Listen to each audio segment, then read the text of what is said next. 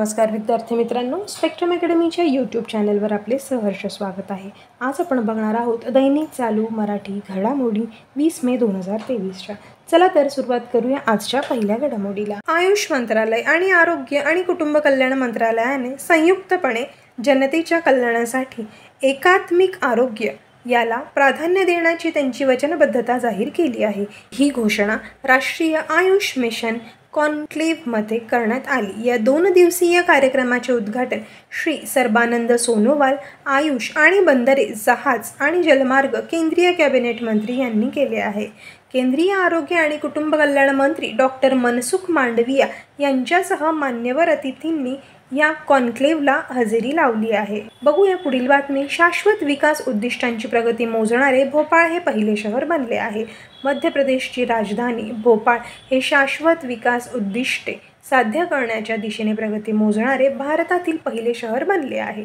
शहराने स्वैच्छिक स्थानिक पुनरावलोकन प्रक्रिया स्वीकारलेली आहे जे एक साधन आहे. जे शहरांना त्यांच्या एस डी जी सीवर त्यांच्या प्रगतीचे मूल्यांकन करण्यास आणि त्यांना सुधारण्याची आवश्यकता असलेल्या क्षेत्रांची ओळख करण्यास मदत करत असते. पुढील बातमी आहे कर्नाटकचे पुढील मुख्यमंत्री सिद्धरामय्या असतील. सिद्धरामय्या कर्नाटकचे पुढील मुख्यमंत्री बनणार आहेत. तर डी के शिवकुमार त्यांचे उपमुख्यमंत्री आहेत. दोन्ही नेत्यांनी आवर्तन व्यवस्थेवर सहमती दर्शवल्याने काँग्रेस पक्षाने हा निर्णय घेतला.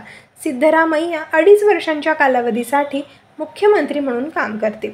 त्यानंतर शिवकुमार हे पद स्वीकारणार आहेत. पुढील बातमी आहे. दोन हजार बावीस ते तेवीसच्या चौथ्या तिमाहीत स्टेट बँकेने आजवरचा सर्वाधिक त्रैमासिक नफा नोंदवलेला आहे. स्टेट बँक ऑफ इंडिया देशातील सर्वात मोठी सार्वजनिक क्षेत्रातील कर्जदार तीस मार्च दोन हजार तेवीस रोजी संपलेल्या चौथ्या तिमाहीत प्रभावी आर्थिक निकाल नोंदवले आहेत. बँकेच्या निव्वळ नफ्यात त्र्याऐंशी टक्क्यांनी लक्षणीय वाढ झाली आहे. स्टेट बँक ऑफ इंडियाचा निव्वळ नफा सोळा हजार सहाशे चौऱ्याण्णव कोटी इतका झाला आहे. बघूया पुढील बातमी. दक्षिण आशियाई युवा टेबल टेनिस चॅम्पियनशिप दोन हजार तेवीसमध्ये भारताने सोळा सुवर्णपदे जिंकली. दक्षिण आशिया युवा टेबल टेनिस चॅम्पियनशिप दोन हजार तेवीस ही तीन दिवसीय आंतरराष्ट्रीय स्पर्धा सतरा मे रोजी अरुणाचल प्रदेशातील इटानगर येथे संपली. भूतान बांगलादेश भारत मालदीव श्रीलंका आणि नेपाळ या सहा देशातील शंभरहून अधिक खेळाडूंनी या स्पर्धेत भाग घेतला होता. अरुणाचल प्रदेशचे राज्यपाल lieutenant general K T Parnaik Itanagar येथील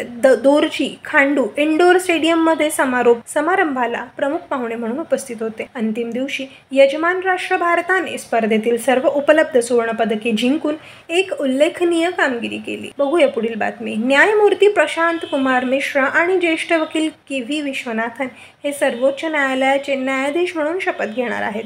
केंद्र सरकारने वकिलांच्या नियुक्तीला मंजुरी दिल्यानंतर न्यायमूर्ती प्रशांत कुमार मिश्रा आणि ज्येष्ठ वकील के व्ही विश्वनाथन हे सर्वोच्च न्यायालयाचे न्यायाधीश म्हणून शपथ घेतील. भारताचे सरन्यायाधीश डी. वाय चंद्रचूड यांच्या अध्यक्षतेखाली सर्वोच्च न्यायालयाच्या कॉलेजियममध्ये केंद्राकडे त्यांच्या नावांची शिफारस केली होती. धन्यवाद विद्यार्थी मित्रांनो. स्पेक्ट्रम अकॅडमीच्या यूट्यूब चॅनलवर असेच नवीन व्हिडिओ ऐकण्यासाठी आणि बघण्यासाठी आमच्या स्पेक्ट्रम अकॅडमीच्या यूट्यूब चॅनलला सबस्क्राईब करा.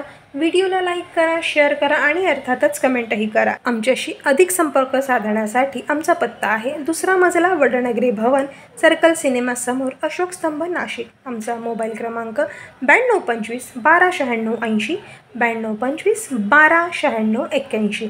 आमचा ईमेल आहे spectrum Nashik S P at Gmail dot com आमचा यू आर एल आहे H T T P S W W W dot spectrum I A S dot in